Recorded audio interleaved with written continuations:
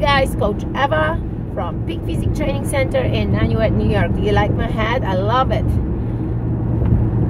So 21 days for $21. Guys, I know that if you are watching that video, I know that you want to lose weight because you know me that I post those videos and it's all about weight loss and those awesome, awesome challenges that Peak Physique has.